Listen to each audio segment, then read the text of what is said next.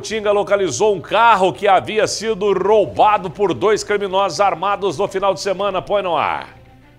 Segundo a Polícia Militar de Jacutinga, a vítima de 34 anos estava em uma adega por volta de 9 da noite, quando foi abordada por um homem armado.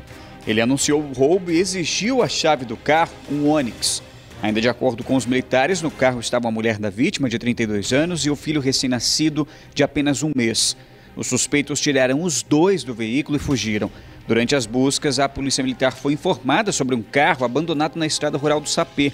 Após rastreamento na região onde o veículo estava abandonado, a Polícia Militar localizou um dos autores, de 46 anos, caminhando na estrada. Ele foi preso e levado para a delegacia. O veículo foi removido para o pátio credenciado do Detran. O outro autor, que portava a arma, foi identificado, mas ainda não foi preso.